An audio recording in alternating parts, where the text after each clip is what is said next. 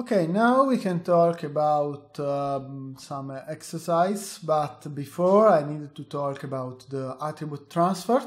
And what is it attribute transfer? Attribute transfer is uh, can help you to transfer some attribute from one geometry to another geometry or one items to another items.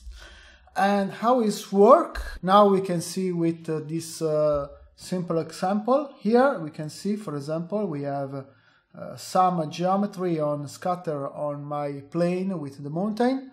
And when uh, another geometry is uh, pass you can see is change for example the dimension of or the scale of our box is on my geometry is scatter on my geometry.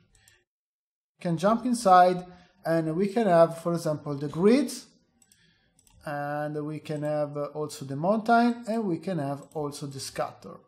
And then also we have another. And here we have the transferred and here the animation of my sphere with the points when is this element we can make in templates uh, is uh, uh, for example the another points here